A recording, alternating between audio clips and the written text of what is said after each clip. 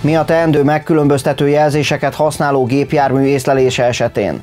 Egyre népszerűbb a lakástakarék pénztár igénybevétele Magyarországon. Edzőmérkőzés és bajnoki forduló is vár a Dunaújvárosi kézilabdás lányokra a héten.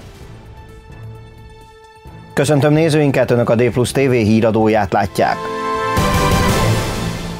Az utóbbi időben Dunaújváros környékén is sok problémát és egy balesetet is okozott. A megkülönböztető jelzéseit használó autónak nem megadott elsőbség. Kizé Edvárd Fejér megye rendőrségi sajtószóvivője elmondta, hogyan kell viselkedni ilyen helyzetekben.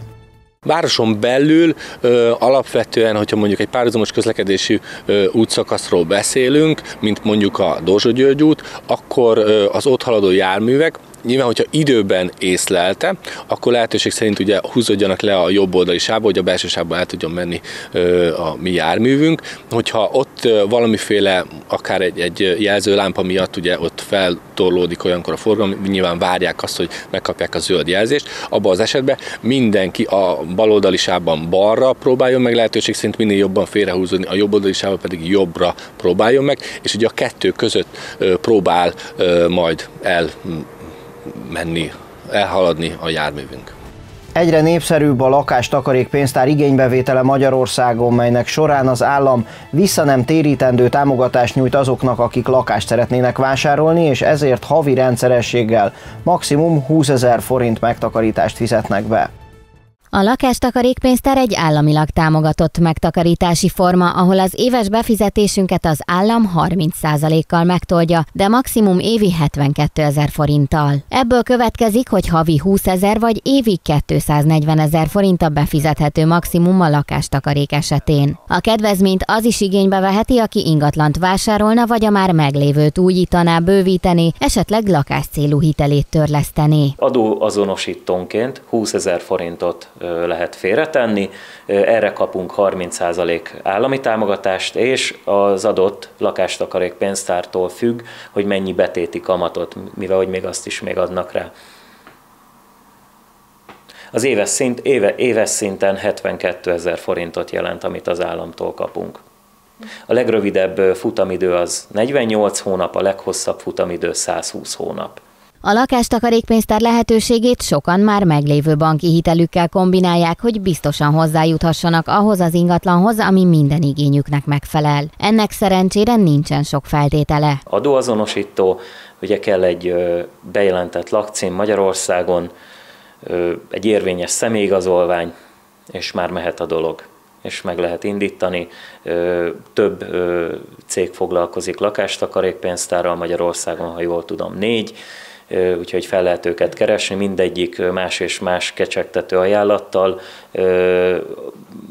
adja ezt a lehetőséget, tehát mindenkinek ajánlom. Fontos, hogyha még kiutalás előtt kiderül, hogy nem fog összejönni a lakásvásárlás, akkor az állami támogatásokat és azok kamatait levonva csak a saját tőkéjét és kamatait kapja vissza a befektető. A Nemzeti Adó és Vámhivatal 2018. januártól egy újabb ügyfélcentrikus programmal a mentorálással nyújt segítséget a friss adózóknak. A tapasztalatok alapján a kezdő gazdasági szereplők nem mindig vannak tisztában a kötelezettségeikkel, ebben segít a NAV.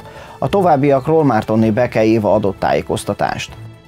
2018. január 1-ét követően alakult vállalkozásoknak küld tájékoztatást az adóhivatal, amely a kezdeti adókötelezettségekről szóló információkat tartalmazza. A NAV új szolgáltatását az összes kezdőgazdálkodó igénybe veheti. A mentorálás 6 hónapig tart. A részvételhez regisztrálni kell. A regisztrációt követően mentoráltak lehetnek a kezdő egyéni vállalkozók, a cégbejegyzésre kötelezett szervezetek, a bíróság által nyilvántartott civil szervezetek, az ügyvédi irodák, valamint az ügyvívő irodák.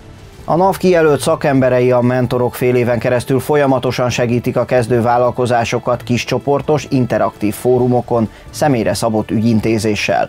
A 2018. január után megalakult vállalkozásokkal a NAV munkatársai 30 napon belül felveszik a kapcsolatot, a szolgáltatás ingyenes.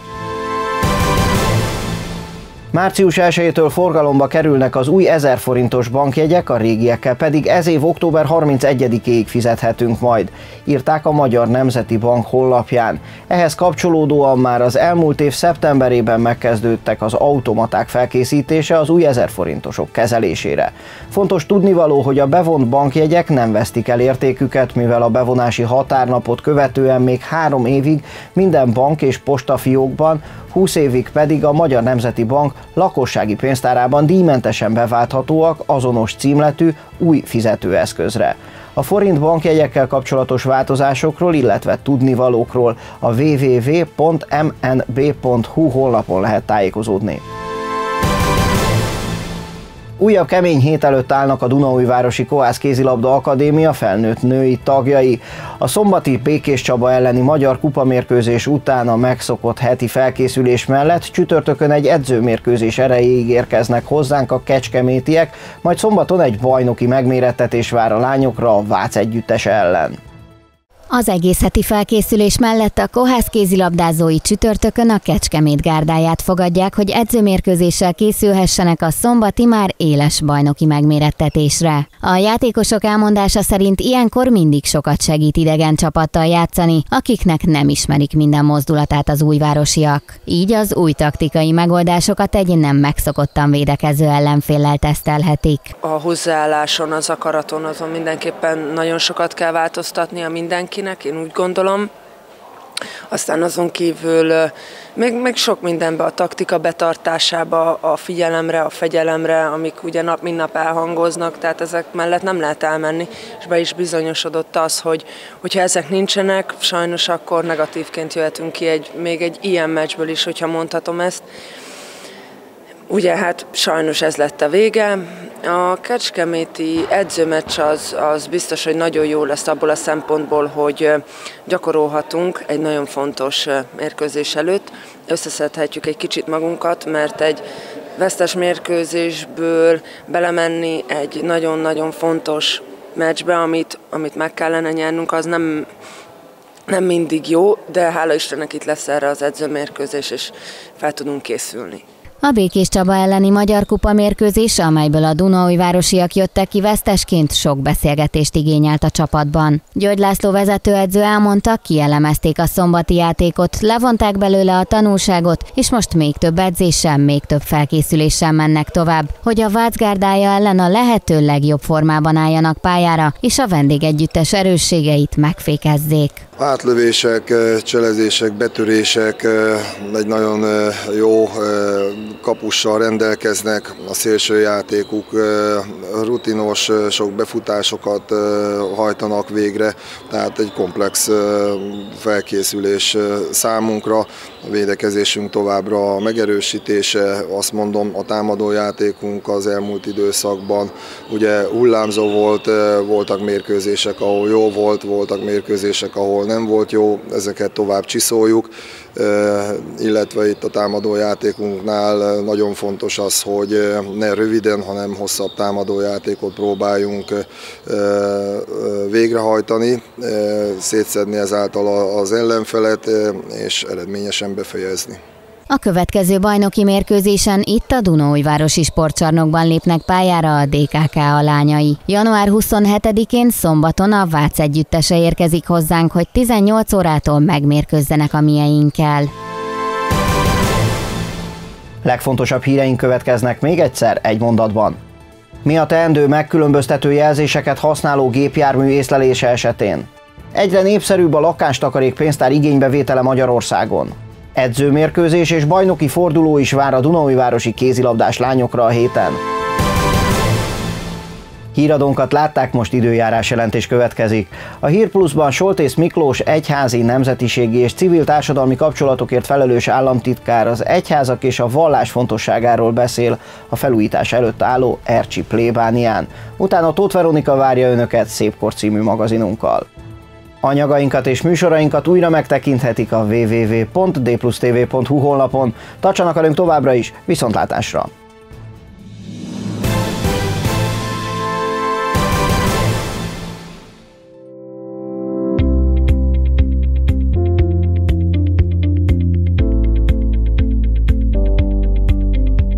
Köszöntöm nézőinket! Csütörtökön többnyire napos csapadékmentes idő várható, leginkább fátyol felhők szűrhetik meg a napsütést, hajnalra pedig helyenként pára és köt kialakulhat.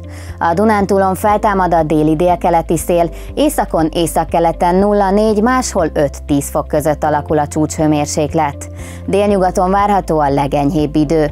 Pénteken is hosszabb, rövidebb időre mindenhol kisüt a nap, csapadék pedig ezen a napon sem várható. Többfelé élénk a Dunántúlon erős lesz a déli eszél, így tovább enyhül az idő, 3-12 fokot mérhetünk napközben. Köszönöm figyelmüket viszontlátásra!